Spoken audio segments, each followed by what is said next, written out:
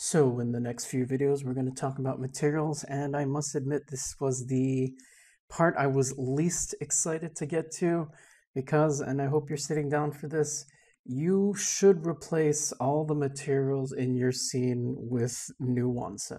Uh, yeah, I hope you see this video early on to your project and you didn't spend too much time uh, working on materials either in Inventor or using uh, 3ds Max materials. And uh, it, it's unfortunate, but it's inevitable because in this workflow, we're going to or going through three completely different software. So it's not like we're going from one manufacturing software to another.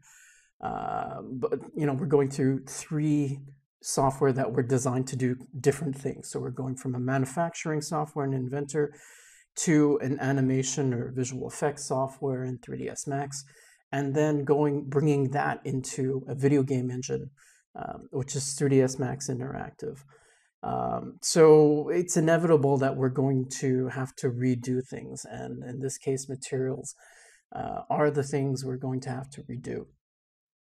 And the reason is is that essentially, video game engine um, uses, or this video game engine uses the DirectX API.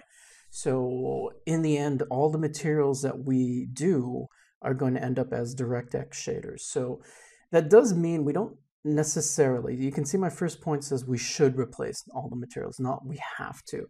We can keep it to whatever material we had with an Inventor, but in the end, once we bring it into the video game engine, it's going to be converted to a DirectX uh, shader. So to avoid any surprises, uh, in the sense that what we see will look completely different when we bring it into our last software. Uh, we should start as early as possible using DirectX shaders to avoid surprises.